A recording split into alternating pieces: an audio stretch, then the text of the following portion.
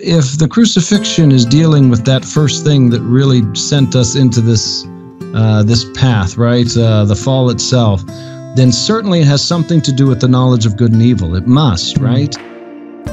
G'day everyone, Dave Deane here, and I'm really excited to share with you a fascinating conversation that I've just had with an excellent scholar, Dr. Nathan French, exploring the meaning and significance of the tree of the knowledge of good and evil mentioned in the Eden narrative of the book of Genesis. Dr. French has studied at the Hebrew University of Jerusalem in Jerusalem, Israel, and completed his PhD at the University of Aberdeen in the UK in Hebrew Bible and the ancient Near East. And in today's conversation, we'll be taking a look at his PhD dissertation topic, which is titled A Theocentric Interpretation of Hadar Tovera, which translates into English from the Hebrew as a theocentric interpretation of the tree of the knowledge of good and evil, or good and bad. Now, this is one of those topics that I think most of us would have at least heard about and being central to the origin of the Christian story. It's obviously instrumental in setting up the broader redemptive story that climaxes in the coming of Jesus. But if you're anything like me, this tree has always been something of an enigma. What is this tree? What does it really mean? What does it represent? Well, today we'll be taking a deep dive into these kinds of questions, exploring how people have understood this tree throughout history and the ways knowledge of good and evil are spoken about throughout the Hebrew Old Testament, leading to Nathan's scholarly contribution to the conversation. And I, for one, have found my own theology corrected and enriched by Nathan's research. But whether you're a skeptic of the Christian faith, new to the faith, or have been a believer for years, I think there is something in this conversation for all of us, which spans from the deep, deep, deep recesses of antiquity right through to the modern day. Uh, Dr. Nathan French, it is great to have you. Uh, I've been looking forward to this conversation for some time. Uh, we're going to be here today talking to you about your PhD research, which is on the tree of the knowledge of good and evil. Yes, well, thank you, David, for having me. It's a blessing to be on uh, this podcast, and uh, good morning to you in the future. So, yeah, absolutely, in the past. yes. yeah. yeah. Um, so this this research that you've done on the tree of the knowledge of good and evil is that the the title? Um, looking at your your your book that you've you've published, which is from your PhD, there is some uh, different symbols in the in the the label there. yes, I put the I put the Hebrew uh, right into the title uh, actually. So. Uh, yeah, so the title of my PhD, both the dissertation and the published version, I, I, I stuck with the title is a theocentric interpretation of Hada'at Tovera, uh, the knowledge of good and evil as the knowledge of uh, for uh, administering reward and punishment. And of course, Hadat Tovera in Hebrew is the knowledge of good and evil. That's uh, that's how you would say it in Hebrew, uh, and so that is the title. Again, a theocentric interpretation of Hadat Tovera, the knowledge of good and evil as the knowledge for administering reward and punishment. Okay, that is quite the title, and quite the title. Uh, yes, I, I, do know one who uh, Daniel Defoe. He beats you though. Uh, Robinson Crusoe. That is like the abstract to his entire book. yes. It's just a paragraph. So, That's good. I um, like that. Couple of couple of sentences to go there, but um, okay. So a theocentric interpretation. Now, Tove, right? That um, the Tov there is good and Ra is evil. Is that, that correct? That is correct. So Hada'at Tove Ra the knowledge of good, tov, ve, ra, and evil, ra being evil.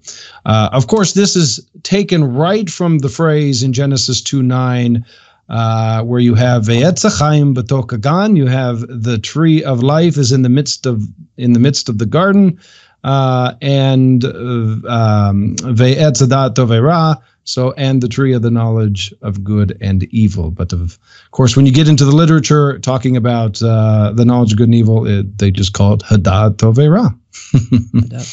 okay. Yeah. All right. So, uh, on that point, like when we open up our Bibles, right, to the Eden narrative, it's right there in the first couple of chapters of Genesis. Uh, there's a lot of trees um, good for food, pleasing to the eye, um, mm-hmm. perhaps not the best for covering nakedness, as we find out in chapter three. um, but, you know, we're getting ahead of ourselves. So, despite yeah. all of that, you know, the, the, author, though, clearly is drawing our attention to two particular trees in the midst yeah. or in, in the middle of the garden. And as you said there in Genesis 2 to 9, we yeah. read about those two trees, the tree of life and the tree of, of the knowledge of good and evil. What was it about that second tree, the tree of the knowledge of good and evil, yeah. that got your attention enough to spend years getting the highest degree degree we can obtain at university? Yeah, uh, PhD. Uh, well, I ate the fruit and I was hooked, I guess, in the end. No, I. Uh, what happened was I was a student at the Hebrew University doing my graduate work uh, in Jerusalem. And there was a course I was taking on Genesis 1 through 11. And for a midterm paper, we had to write uh, something between Genesis 1 and 6. And I thought uh, I was overloaded with languages at the time and all sorts of things I was studying uh, in addition to that course. And I thought, well, I, I could pick one of the two trees because there's a lot written on it. So surely there's plenty of information, lots of research. This will be a, a good topic. But the tree of the knowledge of good and evil stood out to me uh, for really the simple reason of knowing that the tree of life is all over the ancient Near East as a motif. So the tree of life, uh, sort of representing eternal life uh, in general, but but but other things as well beyond that. But really, eternal life essentially.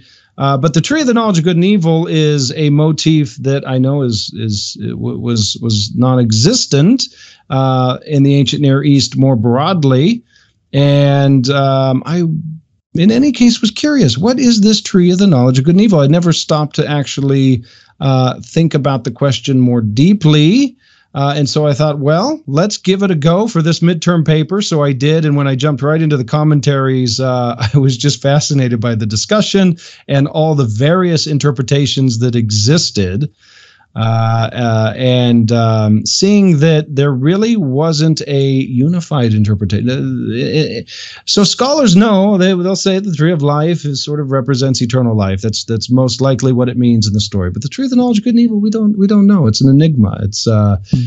uh, it's uh, it's it's a mystery. So anyways, I thought, well, this would be a great paper. So I did the paper, um, got into the research, and what I found in the research was I couldn't find just one study I could go to to really unpack this. I had to go through commentaries and journal articles, and it just seemed that the rabbit trail just kept on going, of course, because it's been reinterpreted again and again.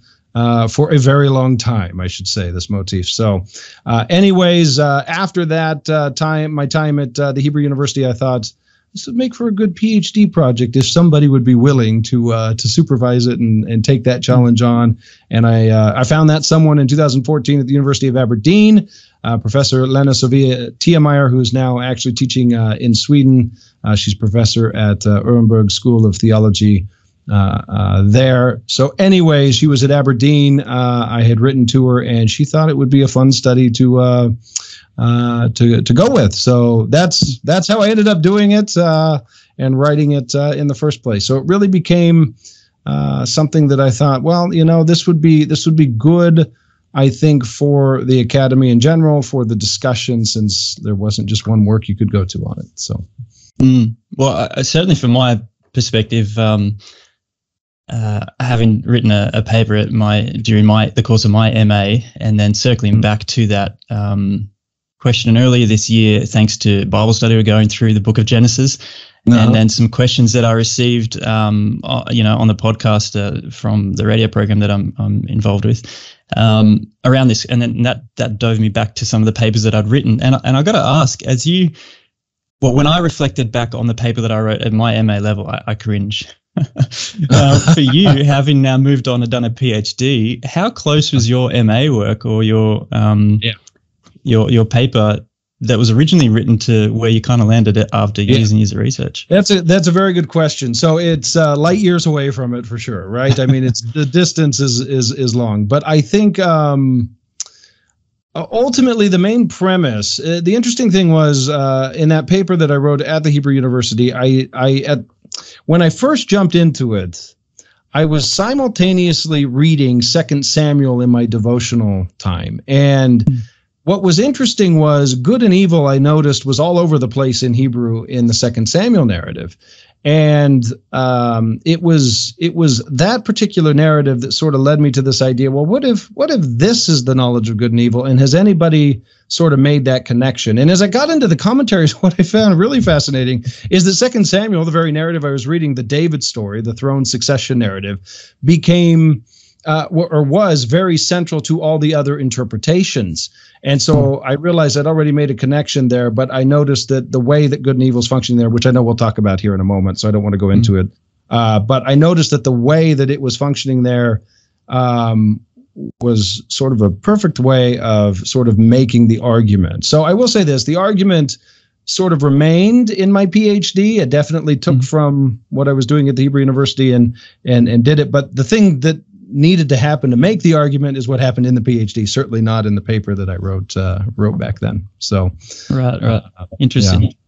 Yeah. Look, so I got to ask. I mean, that's that's the difference between graduate and postgraduate. You write you write papers. Yeah. Graduate and uh, well, by the time you get through the PhD level, you yeah, you're right. You kind of cringe at the things you wrote in the past. So, and the PhD level, PhD level, you're you're filling the gap that uh, that didn't exist. Whereas the I guess the MA, you're really trying to collate what the scraps you can find. And yes, and, uh, yeah, exactly. Yeah. And what I what I was really trying to do, I think, in that paper at the MA level was uh, write a PhD, which is not what you do at the MA level, right? Oh. So, uh, yeah, so um, you're speaking. It, you're speaking my language. This is my problem with my studies: is always getting dispensations for going too long. yeah, indeed. So yeah, so that's how I came across it, and I, I I sort of held that through the years. I had some other ideas I wanted to work on, maybe in a PhD, but I thought, well, this would work if if given the opportunity and uh, under the right supervision could not have done it without uh, Professor Lena Sofia Tiemeyer and her guidance in it. Uh, she's a hmm. brilliant writer, brilliant scholar, and um, was very helpful in it. So. Now, look, I've got to ask uh, when it comes to the forbidden fruit, are we talking about apples or oranges? figs. I think we're talking about figs, figs. right? Right. With the fig leaves right. there. Yeah. So, of course, with the apple, uh, the word in Latin for apple is sounds very similar to the word that means evil in Latin, and that's where the apple idea sort of comes from from in the history of interpretation. Uh, but uh, the fruit is never mentioned. You know the the type of tree or the type of fruit that is eaten is never mentioned. But because they cover themselves with fig leaves, there is, of course, the tradition that it was a fig tree, and figs are very popular, obviously, in the land of Israel and in the Middle East more broadly. So, yeah. Yeah, that, well, we won't go there now, but you could run that whole fig trail right through to Jesus cursing of the fig tree and what to say there. Yeah, yeah, yeah, um, interesting. Yeah. And uh, I was also thinking the the Hebrew word for tree is eight. Is that correct? Yeah, etz. Etz, etz. Yeah, etz. Okay, so can't help but notice how close that is to ents in uh, in Tolkien. So I don't oh, know yeah, if there's a you know the, the, walking talking trees. I don't know if there's knowing him. There's probably definitely a connection there. yeah, yeah. Well, you know, Tolkien. Um, yeah, yeah. Okay. So, look, just a final question before we dive into the nuts and bolts of your particular findings in your PhD. Mm-hmm. I guess mm-hmm. from my end, uh, as I engage with people's questions about the Christian faith, um, there are many that, that come straight out of Genesis chapters one through three, the, the creation narrative, the Edenic narrative. Uh, you know, for example, if God created the world and it was all good, why did he put this evil tree smack yeah. in the middle to tempt us? It's like God's put this big red button, then a sign next to it that says, you know, do not press. What would you say to, I guess, a question like that? And and more generally, what are some of the other misconceptions uh, that you've encountered when it comes to what the Bible has to say about these trees in the garden, in the midst of the garden?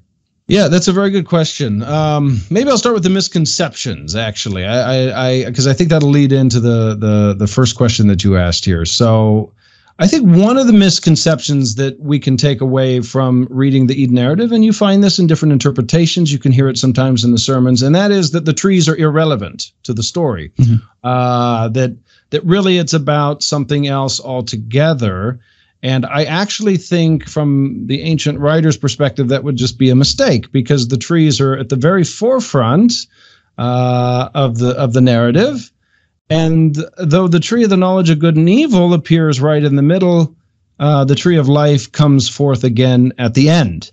And so hmm. you see that the whole narrative really is surrounding these uh, two trees uh, in general. One tree that has something to do with knowledge, and another tree that has something to do with life, right? Mm-hmm. a second misconception would be that the trees have nothing to do with God Himself. Of course, He put the trees there, right? In the, in the logic of the narrative, uh, the divine character is the one who puts, obviously, the trees in the midst of the garden, um, as He is the uh, creator. You do you do get this sometimes in the interpretations that there is a um, I don't know uh, uh, a sort of uh, leaving that to the side, and I actually think it's quite important uh, for the whole narrative. And that sort of leads, I think, into your first question: Why would God put this tree in the garden if He didn't want them uh, to eat from it? In the ancient uh, stories uh, more generally in the ancient Near East, of course, we have, for example, the Adapa myth, or we have the story of Gilgamesh and and others as well that deal deeply with knowledge and life. Why is it that humans can have knowledge and wisdom, but why can't they have eternal life? And so, mm-hmm. essentially, what we're dealing with at that point is divine knowledge and divine life, because wisdom was thought to be something that came from the gods themselves, right, on an ancient Near Eastern level more generally. But here in our Genesis 2 and 3 narrative, it's obvious that divine knowledge and divine life are placed there by God Himself within the narrative. So now, why would God forbid? eating of uh, the tree of the knowledge of good and evil? Well, that's the question, right? That mm. really is mm-hmm. the question uh, that is so tempting to want to ask and to try to uh, understand. And I, I, will say this, I think, from the outset, that if you're reading Genesis 2 and 3, especially once you get into Genesis 2, we have uh, this human um, man that is uh, created, and he is, of course, in the image of God, created in the likeness of God. Uh, those those words for image and likeness in Hebrew have um, uh, meanings in other ancient Near Eastern texts in and around Israel. I don't want to get mm-hmm. too technical here, uh, but essentially, the image of God refers to uh, the um, the statue of God, the statue of the gods that uh, would have been placed in temples in and around the ancient Near East. And in those temples, those statues were thought to go through an animation process in which which they uh, the presence of the deity then sort of dwelt uh, within uh, those statues, and um, that sort of imagery pardon the pun, that sort of motif is precisely what's happening there, uh, I think, in Genesis 2 and 3. There's a great scholar out there, Dr. Catherine McDowell. She's written extensively on this, some great work she's done on YouTube that you can see in her lectures on this. Um, and um, and others others have written on this as well. Uh, it's it's it's quite interesting. Anyways, long story short, there, if the humans are essentially these uh, these images, these uh, children of God in one sense, because that was true of the image um, of, of the king and others in the ancient Near East, but also those who are the representation of God in the earth. Well, they need to have divine knowledge and they need to have divine life. That would go mm-hmm. right along with being that sort of um, that sort of vocational, right along with that sort of vocational call. So, um, all that to say, it seems that the tree of the knowledge of good and evil is a test. It's a test to see if the humans will indeed obey before they can receive divine knowledge. If they disobey, we see what happens in the rest of the narrative. But if they obey, the other side of the story, it seems in the logic of the narrative uh, that they would have probably been able to eat from the tree of the knowledge of good and evil, receive divine wisdom, and then mm. receive divine life as well, becoming God's fully animated images in the earth, manifesting his presence to all of the cosmos with divine wisdom and with divine life.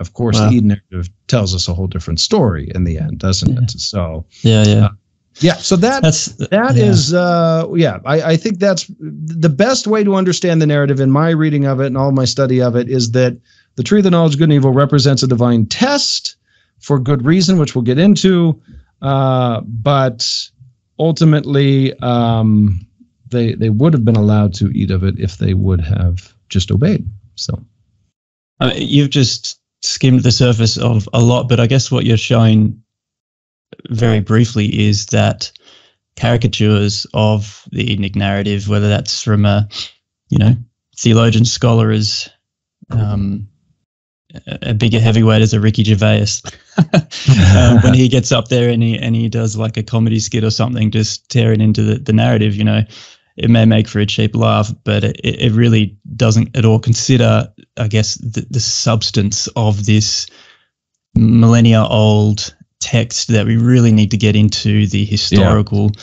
linguistic, yeah. Uh, grammatical kind of context. And then even then, you know, um, it's still a work in progress. But um, yeah, no, I appreciate that. And and something else that you you kind of hinted at there is the idea that perhaps we were, you know, always destined to eat from that tree is that yeah. um, i guess the misconception to the whole idea of the tree of the knowledge of good and evil being this big bad red button do not press uh, this evil thing in the middle. It's it's not actually called an evil tree. It's called the tree of the knowledge of good and evil or, or, yeah. or bad as i understand. Yeah. Um, yeah.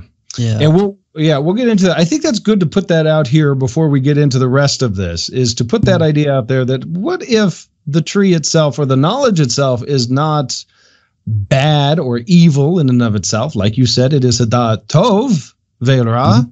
where I think one of the misconceptions is that a lot of people just hear it is the evil tree, for example. Yes. Uh, but it's not. It's the tree of the knowledge of good and evil slash bad, and uh, yeah. and we'll get into that. So yeah. Yeah.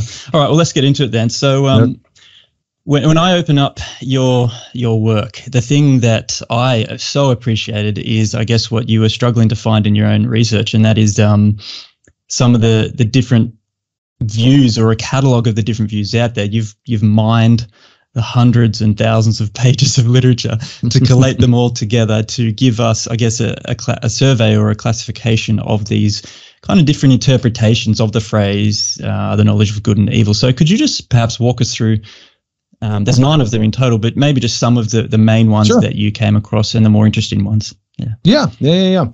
So uh, one of the one of the first interpretations that it, and, and I really covered the critical scholarship from the 1850s forward um, and didn't deal with any more of the more uh, of the ancient interpretations. Though I do have them in footnotes every now and then of of, of different thinkers throughout uh, history that have that have come to this the table of this discussion. So, um, distinguishing the beneficial and the harmful is one of the first ones. So, to be mm-hmm. able to distinguish between what is good and what is bad, that is one of the first interpretations of uh, of the knowledge of good and evil. But that was dismissed quite quickly by the critical scholars. They they they did not see how this could be uh, the interpretation within the story. Moral discrimination, which is similar to that, except instead of between what is good and what is harmful, because Tov and Ra can could could mean that in its uh, in a very basic sense in Hebrew. Uh, we have what is good and what is evil in a moral sense, right? So we have m- moral discrimination, being able to discriminate that. Uh, wisdom that uh, what the humans receive as a type of wisdom from the tree is probably one of the most uh, widely agreed upon and held interpretations within critical scholarship. Uh, the problem with it is, what do you mean by wisdom? Mm. Ultimately, all right. And within the discussion of wisdom, it's it is quite uh, varied. Uh, there's there's quite a um, there, there's really no consensus within that one interpretation of what wisdom means.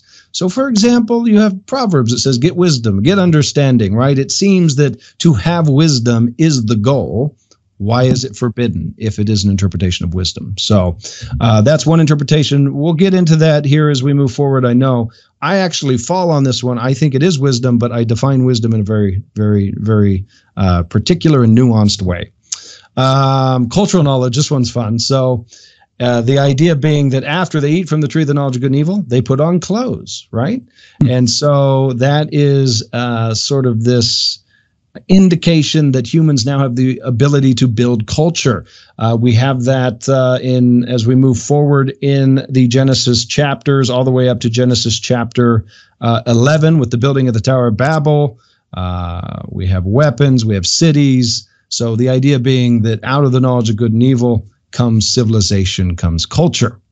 Uh, that was one of the uh, one of the held interpretations um, by even Julius Wellhausen, uh, the uh, the great German uh, Hebrew Bible scholar. Uh, he would have he would have held to that. Sexual knowledge. This is a good one. So this is held by this is the most widely held, I think, Jewish interpretation, especially the ancient Jewish interpretation, but even in a modern perspective, that Hadat Tovera is simply a greater uh, a greater metaphor for the act of sex itself.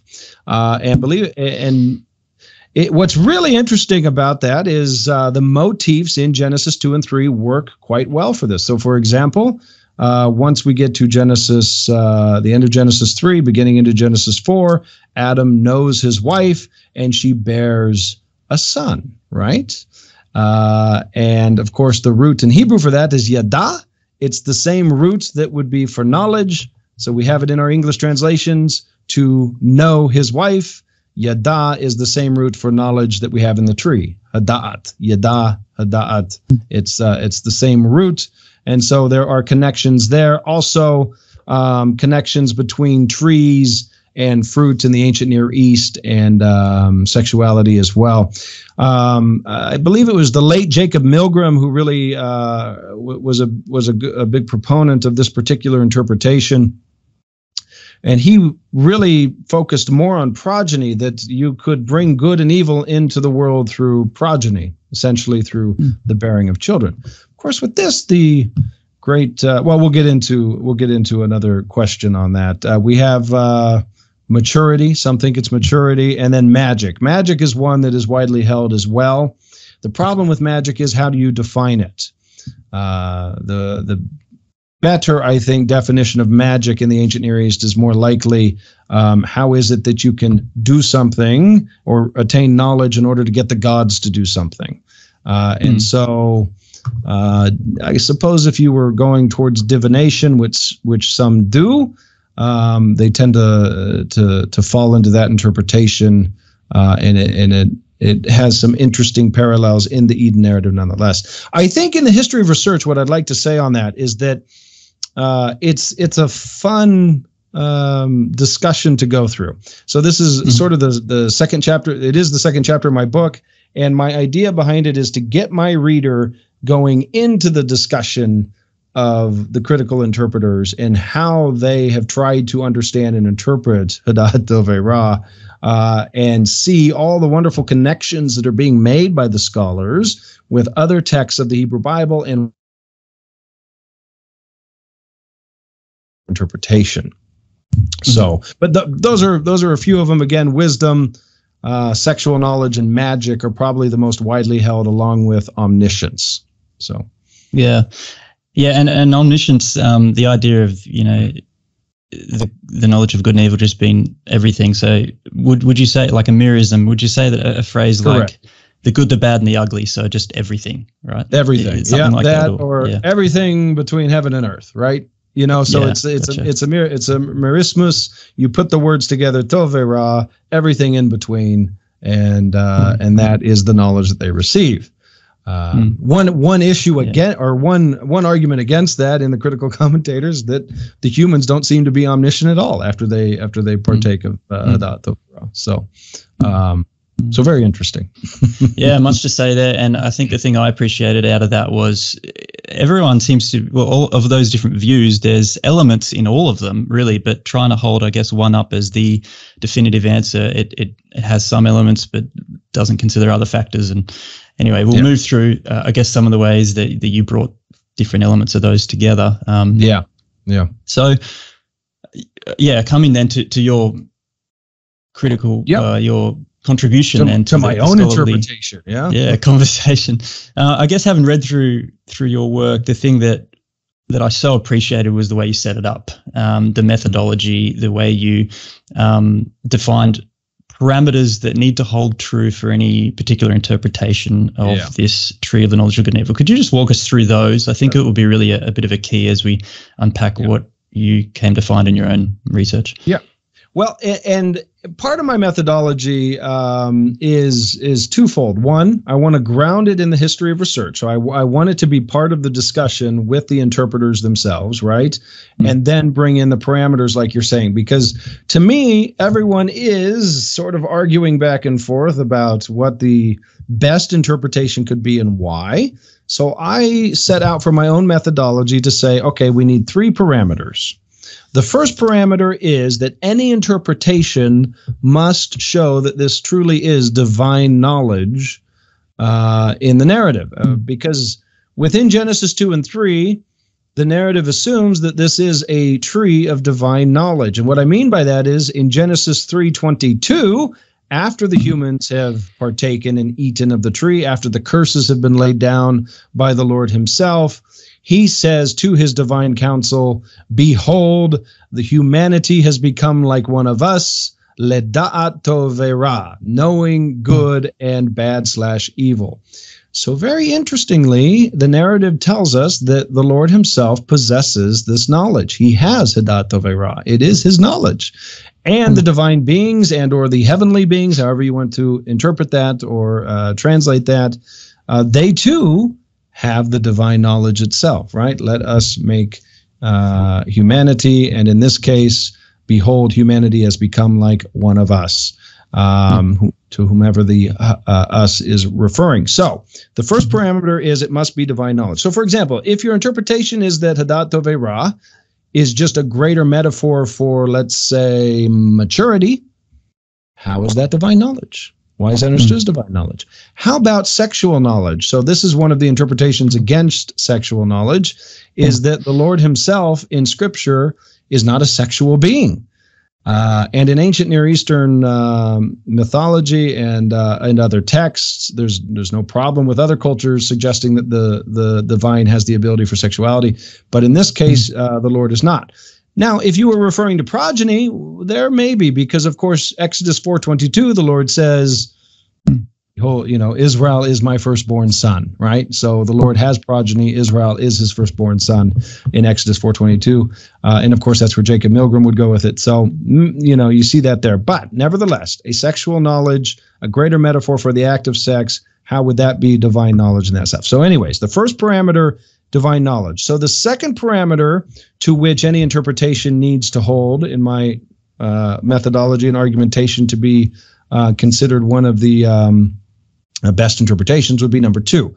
And this is the one that I suggest is a lacuna, i.e., a, a big gap and hole within the uh, history of research. And that is that the interpretation must explain how Tovera, good and bad slash evil, uh, functions in relation to the divine character, in this, this case, to the Lord, right, in the narrative.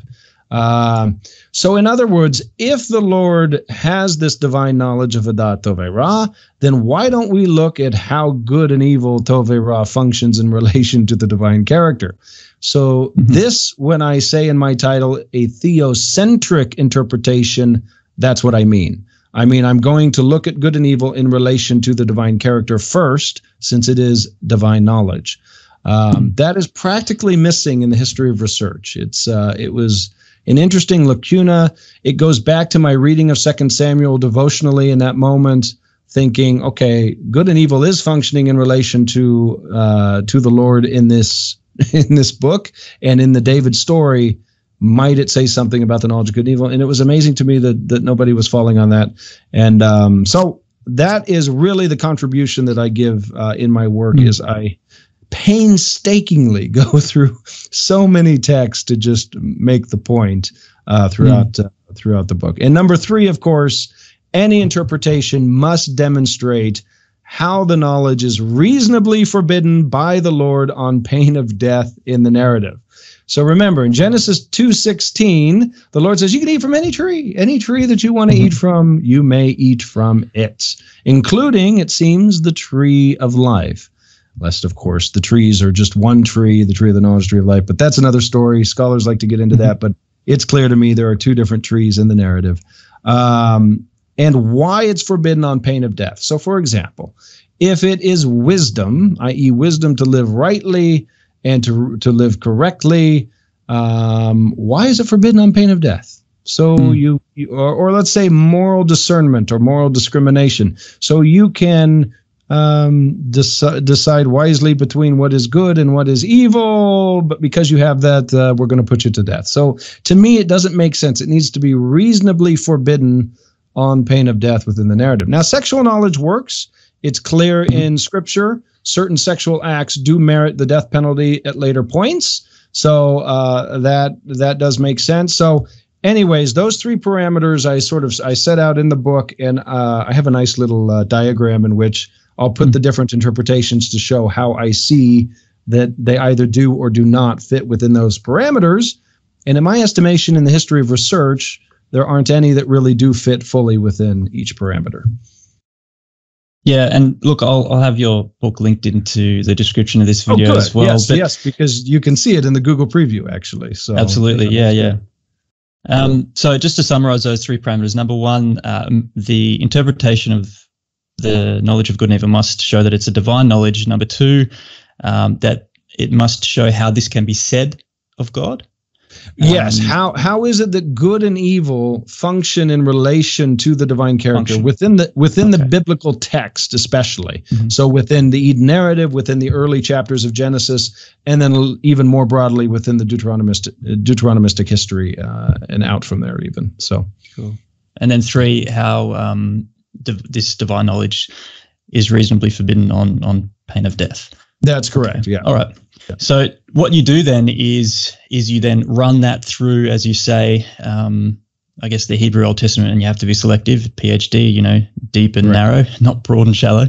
Um, and I guess what I appreciated as I as I looked at this in your work is the concern, f- your concern for the use of of words in their biblical historical context. I mean, Yeah. you know, the ancient uh, in the ancient Greco culture, an idiot was a private person. Well, it's not quite the idea of an idiot today. So, um, etymology is helpful and it takes us so far, but it's really Mhm. the way that these words are used in their grammatical, Mhm. historical context. Yeah. And, um, you know, on the historical side, you spend a lot of time mining some of these extant writings Yeah. from the ancient Near East. And Yeah. I understand there is a lot of symbolism tied to the ancient Near Eastern cultural views of trees. So, uh, quick question here How did you control against endless rabbit trailing of symbolic speculation here and not end up with some allegorical thing Yeah. that was just, you know, well beyond the scope of scripture?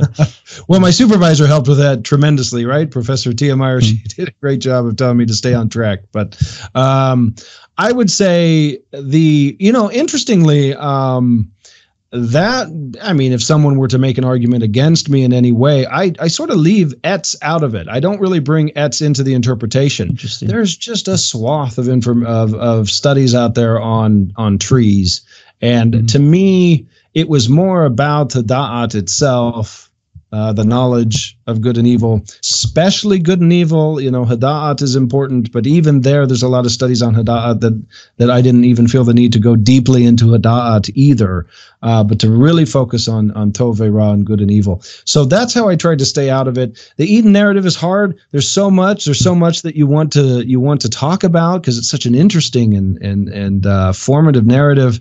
Um, but it, I just early on, uh, I was I was advised stick to exactly what you are looking at and try not to, as you say, get into the weeds or or follow the Mhm. rabbit too far. So.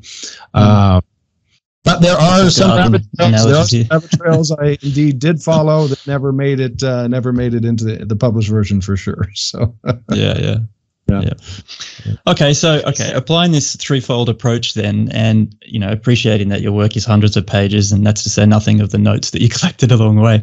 Um, could you give us one or two of your main findings from Yeah. your research as you ran this um, threefold approach through the the Hebrew Old Testament?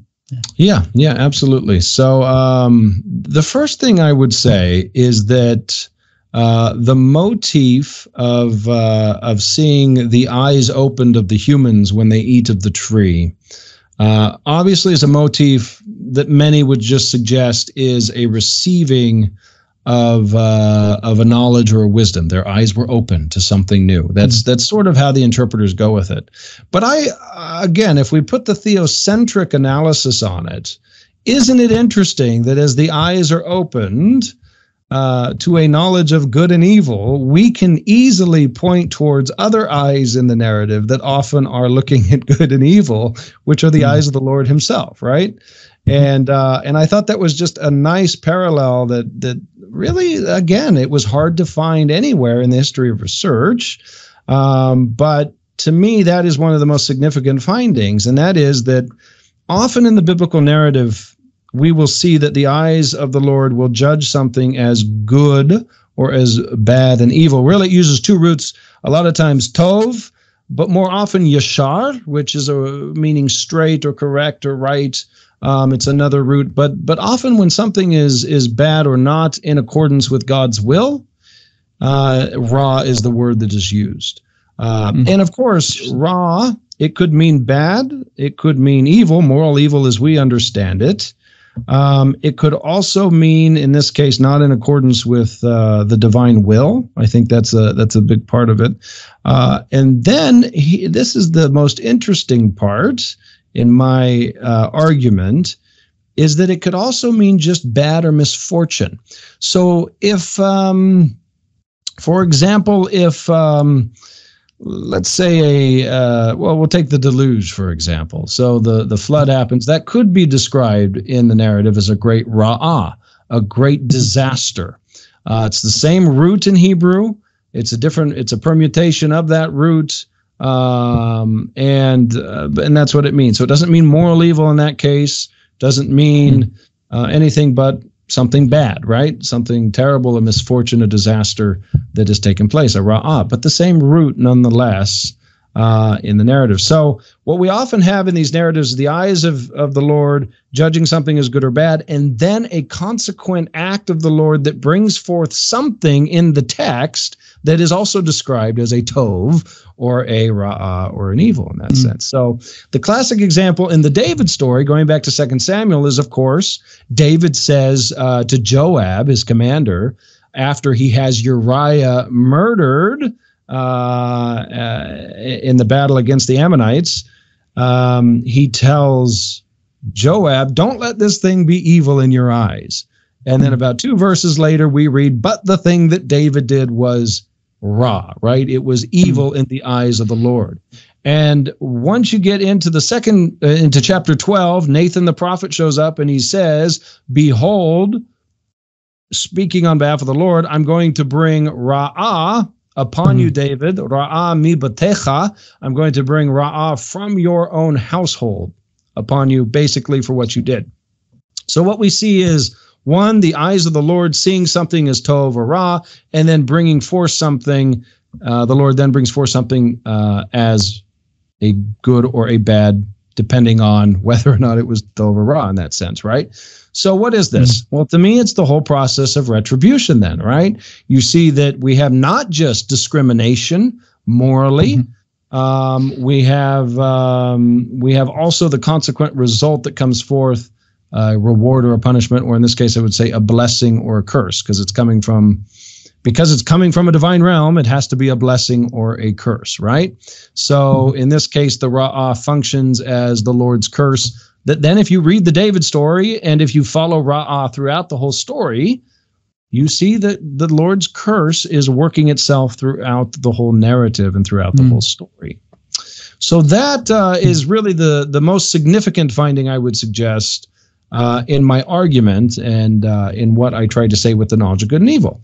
Well, let's look at Tov Ra and how it functions in relation to the eyes of the Lord, and that seems to be how it functions. So, so okay, so I guess discrimination in, in the sense of um, knowledge or awareness. Uh, so yeah. not discrimination in like a pejorative sense of the term that we might have no. today. No, no, no, no, no. Um, yeah, yeah. Yeah, no, okay, definitely and, not. And that language is coming right from the commentaries from a different era and a different time. So probably sure. should be different. But to discriminate in the sense of to be able to divide, to be able to see differences, this sort of thing. Yeah. Yeah. So yeah. that would be one. And then, um, yeah. Bringing forth as a result of what is observed or acknowledged or discriminated. Yes, yeah. correct. Yeah. Yeah. And then, uh, so on top of that then i would then ask the second question i do this in the in the book the next chapter beyond that would be okay if that's the case in relation to the lord let's look at it in relation to the humans does the same mm-hmm. thing happen with Ra? and i argue it does we see it in the david in the saul narrative david and Naval. we see it as well where Ra is going back and forth even to the point that saul will say i have done evil to you david but you have returned good to me, right? So there mm. is this uh, sort of reciprocal thing that's happening between the humans uh, with good and bad as well. That if you do good, you you get good back. If you do evil, mm-hmm. evil comes towards you. Uh, and then, of course, also interestingly, the covenantal aspect that within the covenants of the ancient Near East, there is this idea of good and bad relations. And Hmm. if you're in line with the covenant, you're in good relationship with the uh, one with whom you are in covenant, either the overlord or the suzerain. Um, and in in the language, uh, in the Sefire treaties, the Aramaic Sefire treaties of the uh, of the eighth century, Mhm. we have something very similar here with uh, the words that mean Tov and Ra in Aramaic going back and forth, um, almost to the point that it seems possibly that what's being said is that uh, I will I will I will lay down the evil if Mhm. you don't conform to what the covenant demanded, right? So Mhm. sort of this going back and forth of Tov and Ra in that particular sense, which again is back to being able to um, divide what is good and bad in one's eyes, and then bringing forth a consequent reward or punishment that is described in these texts as a good or a bad. And I would say then the third thing on that, so those you know that sort of works there is number three, uh, the hermeneutical principle of divine retribution.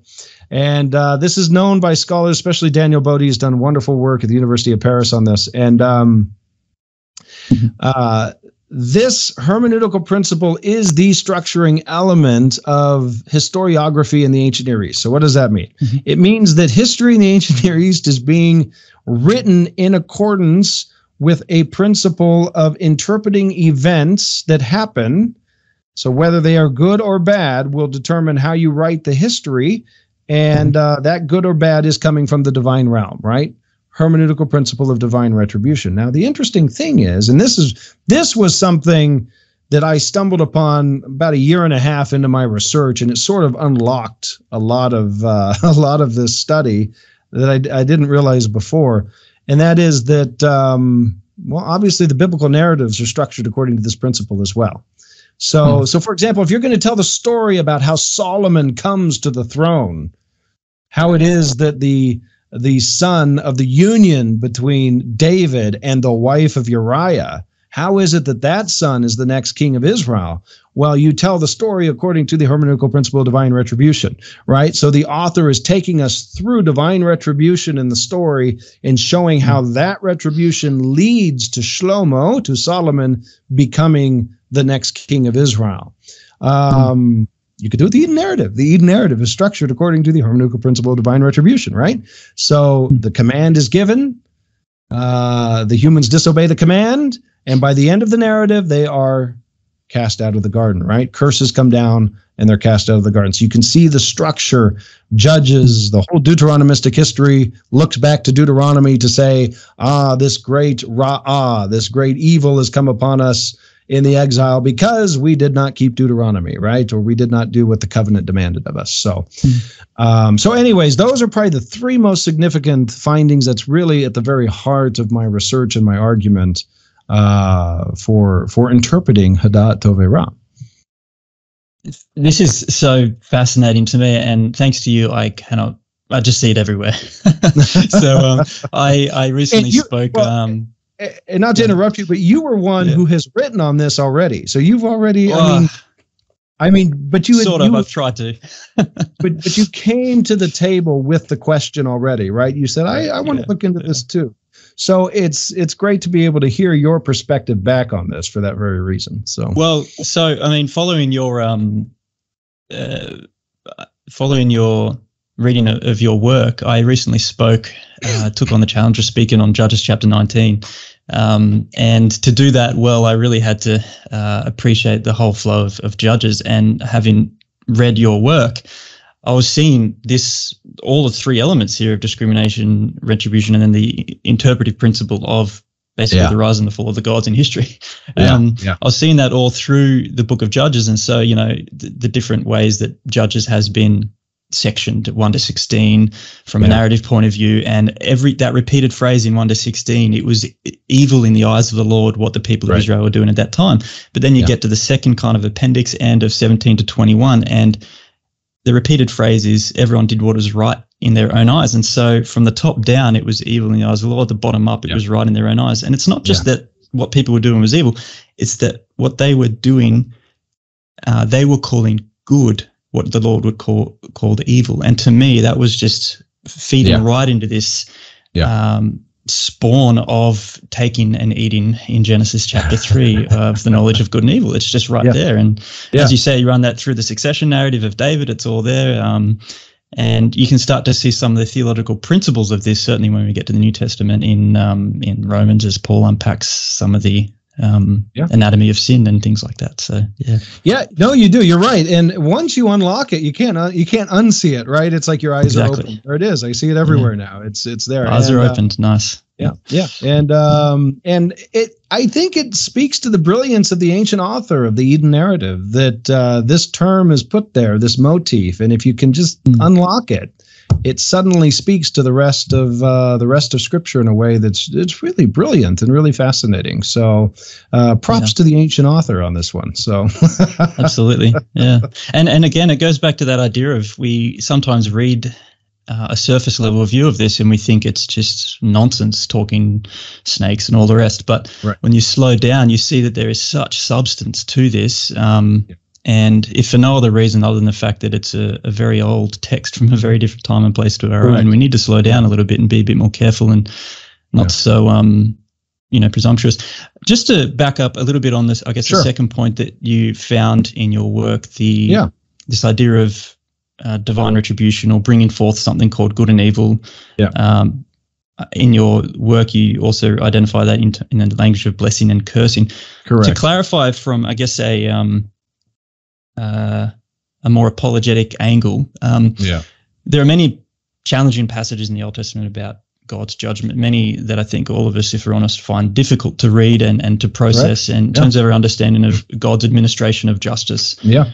Um, what would your findings have to say about that? And also to clarify, you, you, did touch on this very briefly when you said it's not necessarily bringing forth moral um, evil, good right. or bad or evil, yeah. um, but it is is a bringing forth in some sense. How do, like you're not connecting God as the cause of evil in this, are you? So could you just clarify, I guess, from whatever that question is I've just put towards you, um, how would you make sense of some of these, yeah. you know, challenging texts in the Old Testament about God's administration of justice? Mm-hmm. Yeah.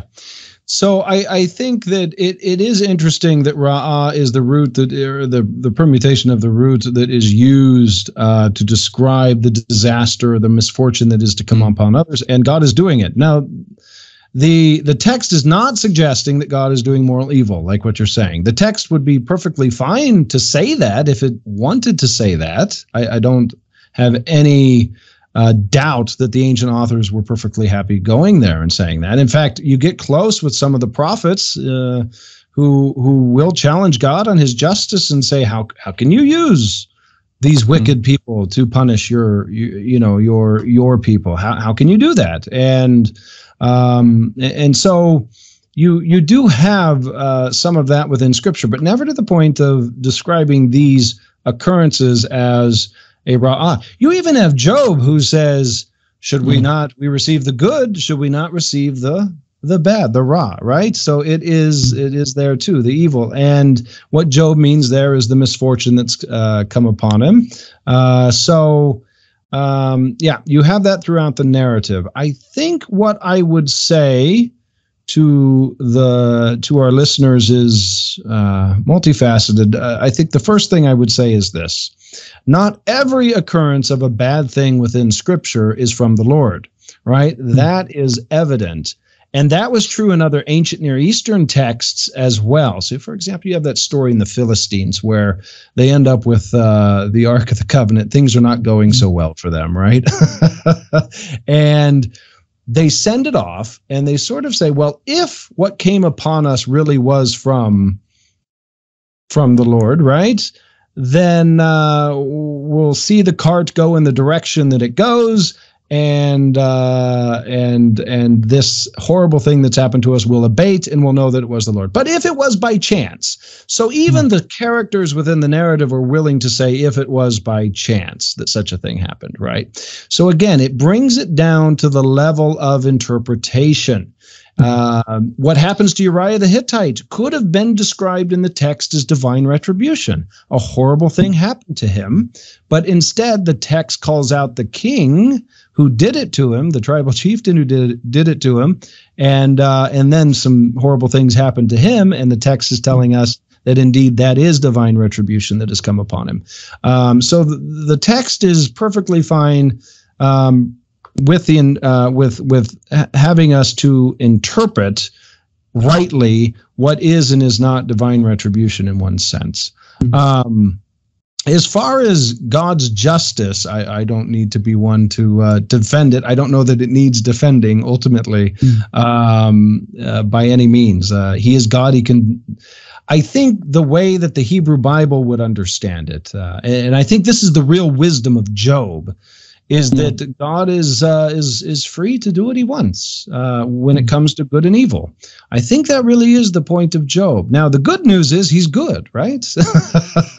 uh, you can you can trust Him in it, but um, I think all humans, every generation, is going to have to just grapple with things that God does, and again um, just because God saw that the earth, uh, we'll say this, just because God saw that the the the evening and the morning of the first day was good, and that the light was good, doesn't mean that another judge somewhere is going to see it as good, right? Mm-hmm. Um, and so my point with that is that um, I you have to grapple with the things in the text that are there um, but I don't know that a defense is really uh, needed. And of course, I'm not trying to make that defense by any means. Mm. I'm just asking what is Hadad Tove Ra and how is the text describing it in that sense. Yeah, so, sure. Uh, but this I is how what I, what I, yeah, go ahead. Yeah. I was just going to say, I think what I find so interesting is, um, you know, you, you have a text like Judges 19, which is one of the most horrific yeah. kind of stories in the Old Testament there with the Levite and his concubine. Right. And that whole narrative in 19.1 is prefaced with um, in those days there's no king in the land and everyone did what was right in their own eyes. Yeah. In other words, God is not here. There is no king. There is no right. appointed one. Um, and so left to their own vices, devices, um, yeah. this is the result of a humanity trying to play at the administration of justice themselves, doing right. what is right in their own eyes, uh, which right. the Lord, by the way, in chapters 1 through 17 have been saying is evil. Um, yeah. and so the, I guess the thing that I struck me as I read that is okay, God isn't there, and this is a grim situation.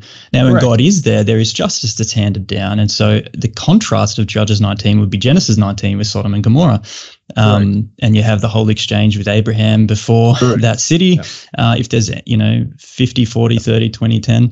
Um, right people that are, are, righteous, will you spare it? And he says, yes, yes, yes, yes, yes. Um, but there weren't. And so justice came and it severed and ended the, um, yeah. the kind of immorality that was going on there. But that doesn't happen in Judges, Judges 19. 19. No, it doesn't. And then um, what does happen is Israel sort of bands together as a result of this concubine, and then they it, it awakens them for a moment, but then they descend into their first civil war, and yeah. on and on and on we go. So yeah, it, yeah. It, it, it, it's a great point that you're making because I think it's uh, there's nothing in Judges 19 that suggests that that state of events is caused by divine retribution. Right? There's nothing there exactly. that indicates that in the text. And that's the greater point to be made that the, the the authors of these texts are willing to interpret certain events, but not every event as hmm. uh, as being from God, and and that's that's the uh, that's the great thing about being the narrator and being the author. You have divine knowledge yourself or divine insight mm-hmm. that others uh, don't have uh, within the you know within the the logic of the text. So, um, but yeah, on that particular note, I think it's interesting. It's sort of like Psalm 82, and Psalm 82 uh, El or God there, the the the chief uh, of of the divine council, he judges the other deities, right? The other gods or the other divine beings or the other heavenly beings, however you interpret it. He judges them in that particular narrative or in that particular psalm for not administering justice rightly in the earth. And this is the real point of Judges 19 is that everybody is doing what's right in their own eyes uh, mm-hmm. God's justice, i.e., his uh, his mishpat, his moral will, is not being upheld in ancient Israel. They are like Sodom and Gomorrah. That's the point. That if you do what's right in your own eyes as a society, you will end up as as it is in Genesis 19. And even there, mm-hmm. right, like you're saying, God does show up to deal with it and to to to put an end to, especially the um, the um, sorry, it's getting late here. The uh, what do I want to say the uh, the human violence, but but really the um, the innocent bloodshed is what I'm going for. Sorry, mm. so I'm thinking of Hamas in Genesis six. Innocent yeah. bloodshed there leads to the flood. Innocent bloodshed is really the thing uh, that that that warrants divine retribution, and and you sort of see that in in some of these narratives. But it seems that as we move in out of Judges 19, yes, it devolves into a civil war, but there is sort of this idea that the humans are going to try to bring some justice to this situation, um, and then of course the real divine justice comes.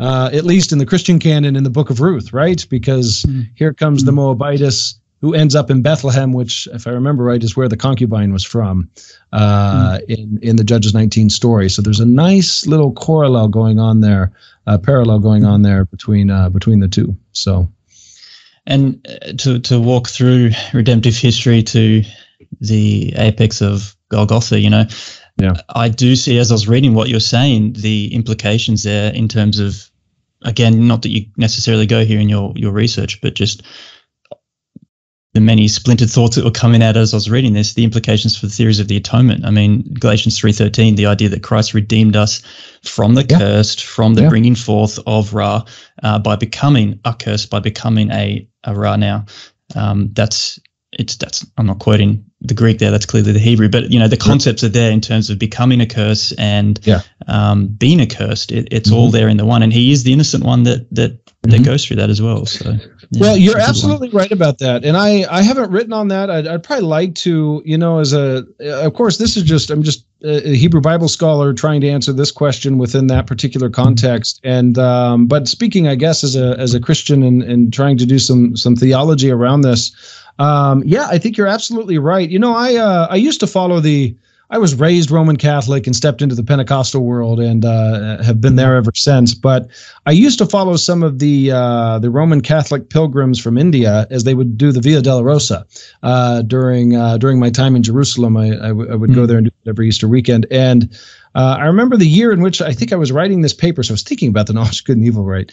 Uh, but the first two stations, obviously, the condemnation of Christ and then the putting of the cross upon Christ, putting the crowns on him, and uh, uh, by Pilate and all of that.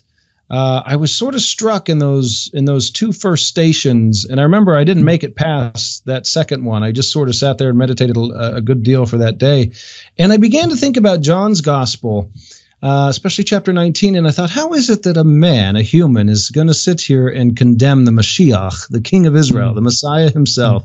Uh, from, from our Christian understanding, the second person of the Trinity. This is God incarnate. He's going to condemn him to death, and uh, and he's able to do that. So it was sort of at that moment that there was a fusing for me of Genesis three and the Passion narratives because mm. I thought to myself, if if if the crucifixion is dealing with that first thing that really sent us into this uh, this path, right, uh, the fall itself, then certainly it has something to do with the knowledge of good and evil. It must, mm-hmm. right? And I think we see it in Pilate. Pilate stands as the mm-hmm. one with Adat Tove Ra, and he mm-hmm. speaks he speaks a judgment which is represented as a curse, and that judgment leads to the crucifixion. Now, Paul in Galatians 3:13 is, you know, quoting Deuteronomy 20, what is it, like 21, 23. Mm. And that particular um, interpretation, I think, by Paul is to say, look, he is cursed by God because he's hanging on a tree. And that is very much a part yeah, yeah. yeah, exactly exactly and that is very much a part of the ancient near eastern thought as well in this retribution uh, mm. piece. I remember George Mendenhall, a great scholar of the Hebrew Bible, though there's no textual evidence of this, he would say of the Hittites and their covenant uh, suzerain vassal treaties that um, mm. let's say they had a, a, a vassal in the land of Canaan, for example, and if that vassal was not obeying uh, the Hittite king or the overlord, uh, or or being faithful to him, that king could, in theory, according to the covenant, bring forth a military apparatus to punish that uh, vassal. And that would be interpreted as the materialization of the divine curse according to the Hittite understanding of the blessings and the curses. So you see here how there is a, a fusing of human and divine retribution that's happening there. You see this in the Hebrew Bible at multiple points. And I think you see it right there in John's gospel in John chapter 19, where the human declares his judgment but it is in fact God's materialization. It's the materialization of the curse of the Lord laid upon the Son, and um, it's a beautiful, beautiful thing when you when you study this deeply. And out of that comes the greatest tov ever, right? You couldn't have imagined this mm. tov that was going to come out of this: the forgiveness of sins, followed by the resurrection of the dead. Uh, you couldn't make it up if you wanted to, right? It's it's mm. the greatest tov that is offered to humanity and uh, and it's all through God's retribution, right? Is doing of tov and of ra in that sense of blessing and cursing. And Paul, I think even there in Galatians goes on, right, that the blessing of Abraham, right, that the blessing of Abraham might come mm. upon the Gentiles. Mm. That they might receive the Spirit, then, in that sense. So, so yeah, which is, of course, going back to Genesis 12, 1 to 3, the blessings and curses that God promises exactly. through Abraham. Yeah. Yeah. Yeah. yeah exactly. Mm-hmm. And uh, there, there's a lot there. Yeah. Yeah. He says to the, he says to Abraham, I will bless those who bless you and I will curse those who curse you. Right. So mm-hmm. same language. Yeah. yeah. Fascinating. Yeah. um, yeah. So, okay. So that's a lot. Um, it is. yeah. Could you just maybe sum that up again in brief? Sure. Um, what yeah. is the knowledge of good and evil? Yeah. So I am suggesting then that Hadat Tove Ra is divine wisdom for administering retribution. Tove Ra understood as reward and punishment, kind of blessing and cursing. Um, and that is the knowledge that is received by the humans that they, in fact, become judges in the earth and can also bring forth retribution, Tove Ra, good and evil uh, I'm sorry, good and bad slash evil in the sense of reward and punishment. I am, to be clear, I'm not saying that the knowledge of good and evil is the ability to do good and evil in a moral sense. So, for example, the command is given in the Genesis narrative, and before they eat from the tree, they're already committing that act, right? So they have the ability for freedom and for will to do it. So I'm not suggesting yeah. that that is it. What I'm suggesting is that it is a wisdom for employing uh, sort of a moral order and to sustain that moral order at the same time, i.e., through retribution in the earth. So you can do this at the individual, the familial, the communal, and I think we see it we see it so clearly sort of at the geopolitical and macro levels on a cosmic level. Mm-hmm. And I think John 19 is a great example where you might see that. So yeah, uh, sure. Um, yeah. yeah. Yeah. And and so the the problem isn't to go back to that, I guess, misconception of the nature of the tree in the garden that we began with. The problem isn't certainly the tree, nor even the knowledge that is imparted by this tree, but rather the exercise thereof, east of Eden, in a way that is not under exactly. the administration of God. Yeah. Precisely, precisely, and for whatever reason, and that's very it's good you put that up because Genesis three twenty two is is quite clear. Before God can even finish his thought, He's already mm. exiling them from the earth because He doesn't want them to um, to take from the tree of life and live and eat forever yeah. in this state. And it seems that until it also makes sense to me. Leviticus nineteen eighteen is quite clear, right? Uh, you shall not take vengeance against your neighbor, but you shall love your neighbor as yourself. Jesus makes mm-hmm. it clear that uh, do unto others as you would have them do unto you. I think you see this reciprocal uh, thing of retribution happening in those sorts of statements. Mm-hmm. And it would make sense to me that if humans are in um, in disobedience to the moral will of of God, at least from the logic of the Eden narrative, that's a problem and can be highly dangerous Hence, my third parameter that uh, the knowledge is reasonably forbidden on pain of death. You cannot take this if you are not going to do what I say, type of thing. Yeah, that would be a an, a good part too to to explore the nature of death and and and the you know the way that that's come about. But we won't go there for now. it's, it's getting late for you, and it's um, deep, I'm yeah. just starting to warm up with my coffee though, so uh, it's, it's early early issue. Well, you got a lot uh, to look, think just before the morning, so yeah, I do, I certainly do, and and I think uh, or I hope that the listeners on reflection of this will just see this everywhere too as they open up their scriptures and read through it, even look around the world today. I mean, we won't go there now, but just the idea of justice, social justice. I mean, yeah. Nietzsche, Beyond Good and Evil, Foucault, um, Punishment, and uh, his review of um, of you know the penal systems. There's just it's all in the literature. It's it's so much a, a topic about these categories of good and evil, and what you're suggesting here out of the the deep recesses of some of the most ancient texts that we have is mm. this is all bundled up in the nature of creation, the nature of what it is to be human, and uh, ultimately our relationship with God, which I really, really do appreciate. Yeah. Yeah. Well, thank you. Um, and, and I guess to that point, um, before we wrap up, you know, scripture, as I understand it, is not just for the download of information. It's, it's no also to do with transformation. And I'd love to hear, uh, I guess, personally from you, how this study has mm-hmm. transformed your personal view of mm-hmm. God and, and how you think it could help others, believers or skeptics alike. Mm-hmm. Yeah, yeah, that is a uh, that yeah that was that's a d- difficult question. I think it's still affecting me in many ways.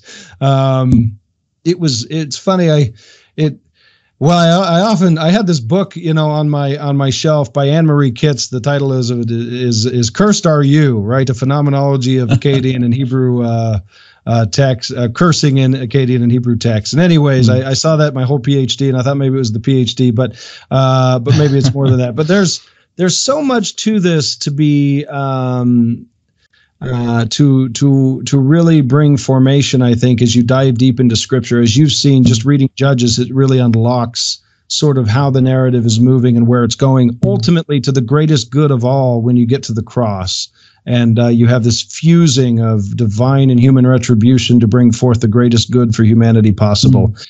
And um, I would say this one one thing that really hit me during this time was divine freedom. I did not really.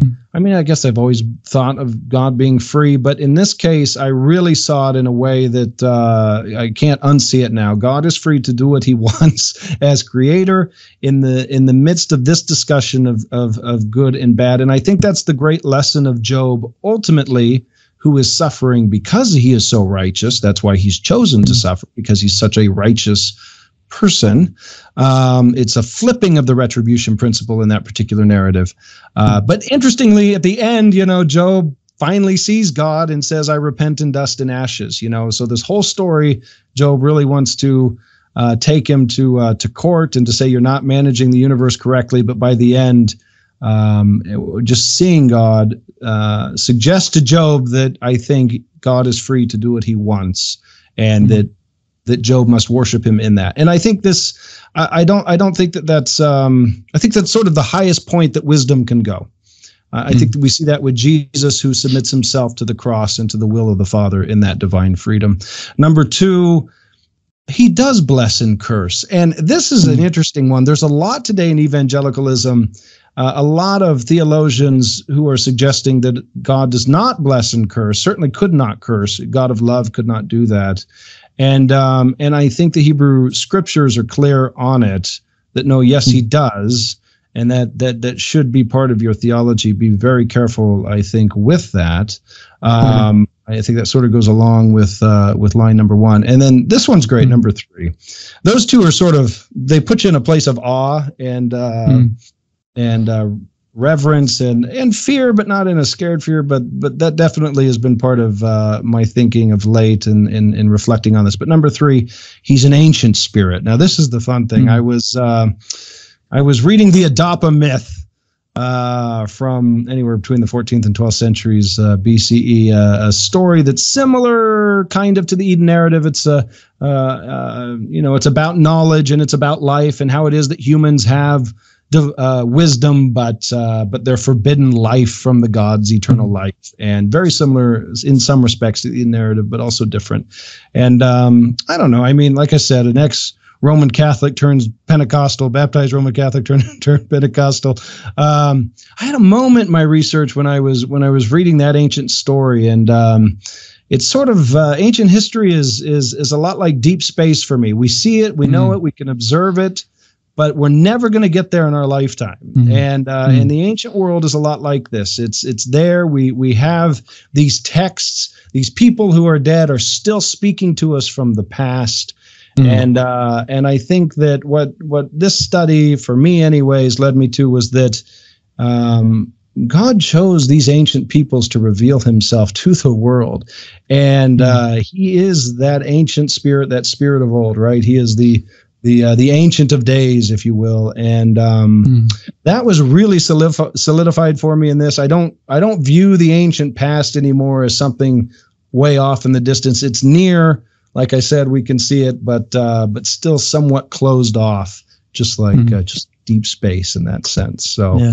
uh, but anyways, those are those are some things that uh, I'm reflecting on in that. So, yeah, no, I appreciate that so much, and you know, for myself, um, it's and even from your work, it is seeing the self-authenticating nature of some of these insights that you've been able to bring forth um, mm-hmm. in the nature of trying to administer uh, observing and trying to administer justice or whatever in my own way, and then seeing how that gets me apart from submitting it yeah. to the Lord and things like that, you know. Well, exactly. Um, and so it's right. just it, it attests to the, I think the the value add and the truthfulness to some of these old texts because human nature, yeah, we've evolved and progressed and moved forward in, in time and space, but at our um at our genesis, you know, there's a commonality there and yeah. I think you've explored that really well in, in some of these deep old texts yeah. and truths from well, the past. So, yeah. yeah. look, Nathan, it, it has been an absolute pleasure. Uh, truly, truly fascinating conversation. I wish we could talk more, but I appreciate your time. Um, so, look, just uh, if people want to explore more about um, mm-hmm. uh, your work and ha- and keep up to date. How can they go about that?